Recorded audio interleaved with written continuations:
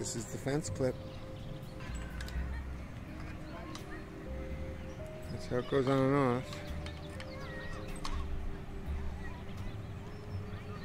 Tighten these up.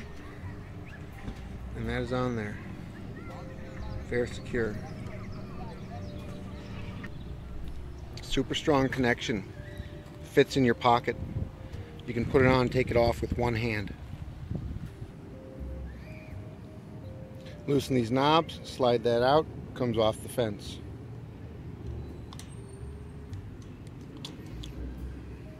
Squeeze it on the fence, tighten the knobs. That's locked in place.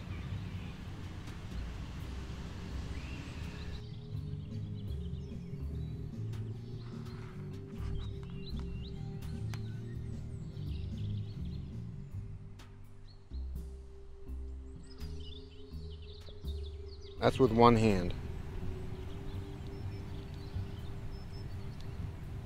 Five seconds.